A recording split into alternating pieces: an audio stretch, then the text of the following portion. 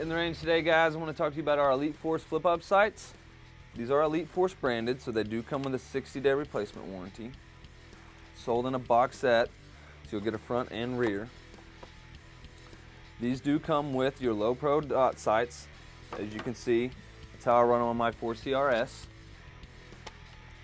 These are also key because if you do run an optic, a red dot, like I do on my 4CRL, then you can lay these down. If you don't need them, they're there. If your optic ever goes down you need them, simply press the buttons, you're ready to go. Check these out. You can find these online or at your local Elite Force dealers. Thanks, guys.